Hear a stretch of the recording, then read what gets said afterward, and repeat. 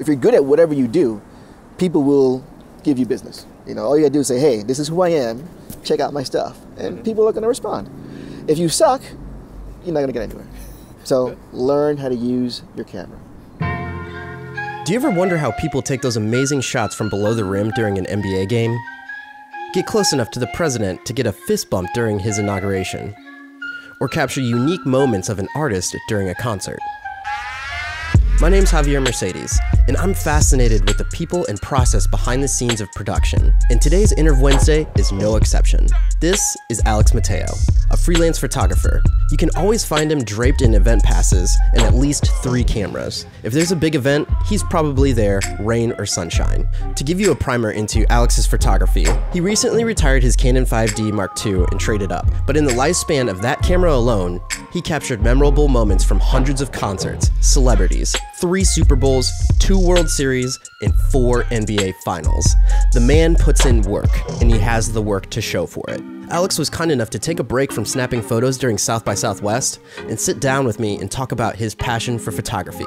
So if you're interested in hearing his story, stay tuned and subscribe for weekly content like this.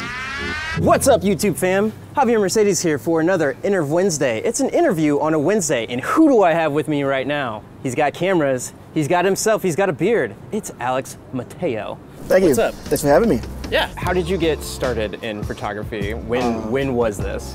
I, I can tell you the exact moment I fell in love with the craft. My New York Knicks beat your hometown Indiana Pacers. Patrick Ewing got on the scorer's table and he stretched his arms out, right? Mm-hmm. And that was amazing. Mm-hmm. Um, and I saw it on TV, of course. A few weeks later, it was on the cover of Sports Illustrated. Mm-hmm. And I'm looking at the cover and I could relive that moment. I was like, wow.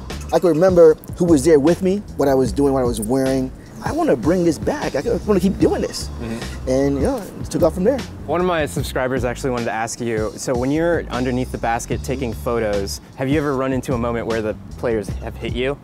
Many times. I actually have a shot of Larry Fitzgerald catching a touchdown, and about two steps later, he smacked me right in the lens. It was actually bent. Was it worth it? It was absolutely worth it, because I got the shot, so. Yeah. You know.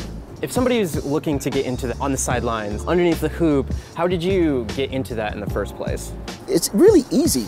You just gotta really just reach out to the right person and say, you know, can I come in? And for the awards and stuff, it's actually room for press. Mm-hmm. So if you're established or at least know what you're doing, they usually know they let you come in. If you have a big enough camera lens? No, the lens that works for the games. Like, okay. dude, you know why I'm here, right? Yeah. Sometimes you just walk in. I remember last time I was in New York and I was talking to you about uh, when you're trying to do club gigs, you put the pancake lens on it. Oh, it's like a it's a point and shoot. It's not yeah. a real lens. yeah. yeah. yeah so yeah, I usually uh, have a backpack and I hide. I'll hide the 7200 wrap it in a shirt or something, put it at the bottom of the bag.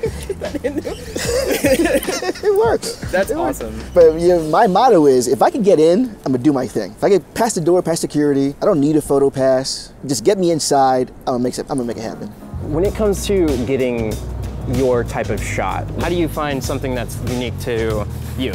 I don't really concern myself with what everybody else is doing. I want to capture the show the way I see it, so that when you see those photos, it kind of puts you back in that space. Mm-hmm. You really can't worry about what everybody else is doing. There's so many people out there. Do your own thing. Cool. What was your first camera? My first camera was a Canon PowerShot. It was like a brick. I'd buy Mets tickets. They were terrible, so the tickets were like four bucks a piece. I would get some good shots because I was like right on the field. But I would look over and I see these guys with different cameras, and I was like, that's what I need to be doing. I quickly upgraded from my four megapixel PowerShot to an 8 megapixel Rebel XT, and I got a 75 300, which was like a hundred bucks at the time. It's a game changer. It is. Yeah. Speaking of game changers, everything changed, and I got this baby here. Oh, oh. You want to see that? you know, this is a 400 2.8. Mm-hmm. great for football. You know. When you're taking photos on the field, how do you anticipate something that like meets this focal length? Because ideally, you know, this is on a, on a monopod. Action's coming towards me. I'll pick this baby up and I'll just shoot with this one at the same time and just hope for the best. And that usually works. That's awesome. I'm so happy with the Canon 7D, the OG 7D. Like it gets the job done when you're spraying and praying. My problem with the 7D was that the focus would always slip.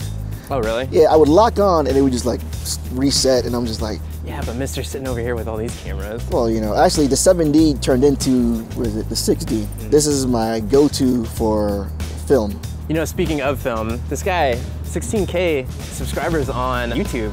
From what I've seen on your YouTube page, it's mostly while you're going to photograph these gigs, you might stop for one song and record them That's exactly what it is. Yeah. I've never taken that seriously until uh, I hit my first million views. I was like, wow, people watch these things. Was it Harry Styles? Harry Uh, Styles, that video went absolutely viral really fast. I had no idea what was happening. Fun facts, I actually got to work with One Direction. I was doing house lights for them, and by house lights, that means I'm just the guy that turns the lights off right when the concert starts and I turn the lights on when the concert ends. That's it. What's interesting about that job is the amount of power you have. It's just music in the background, people are filtering in, and the moment you turn those lights off, everybody goes ballistic.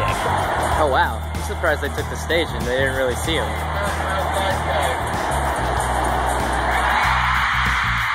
You know that it's just like this red button that you just hit and it goes, they scream. You turn them on, show's over. yeah, and everybody's like, oh no. I love your GoPro rig, the photos of you with the helmet on. So he'll be like snapping photos, but then he'll also do the concerts at the same time. so this is my new thing. So Oh, d- a handle with a battery in it, so you can charge on the go. So I just had it side by side. I just, you know, Just do that. yeah, the rig you're speaking of, uh, got it here, the little head head wrap.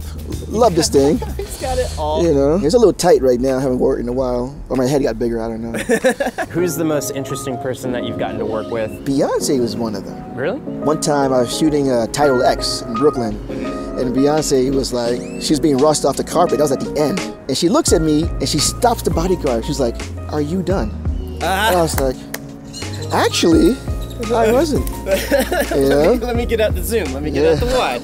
I did. I, I, I- I switched back and forth like, Yo, we, we gotta get this. And I said, Thank you. She's like, I was like, wow. Nicki Minaj is another.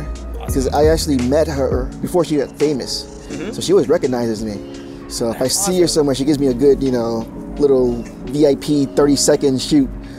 Right when you open up your page, one of them is Nicki Minaj. You kind of had the similar framing with one that you just posted. Amara La Negra. Yeah, that photo was bomb.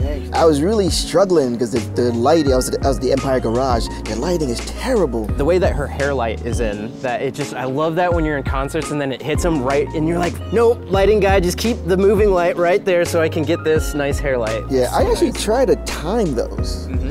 And during that sequence, she actually moved into the prime lighting area. So I was like, let me move around a little bit, get a little more of the light, because uh, I was right in front of her, I think. So you can see like on her shoulder. Yep. So I was like, let me be over here. Got it. Boom. Tips and tricks, Alex Mateo. What's a horror story of just like you went to an event and maybe a camera broke or something like that? Dude, that hap- that's happened several times. Uh, I've done like events where people spill Hennessy on my cameras. That's not just any normal drink. It's like, oh no, it's it's Hennessy. Yeah, Hennessy. It's, it's really it's really sticky. Yeah, Yeah, I it- could imagine. Jamie said you can just like, towel off and like move on, but Hennessy Probably is cleaner. Yeah, The other one I wanted to ask about is the Obama photo. Really sweet shot of Obama during the inauguration going straight down the aisle. It's so nice. Yeah, that was that was an amazing day overall. I did politics because uh, you know I was just doing music and it was boring. Everybody's doing that. Yeah. So you know I just reached out to the White House and they were like, okay. Ba- a background check later.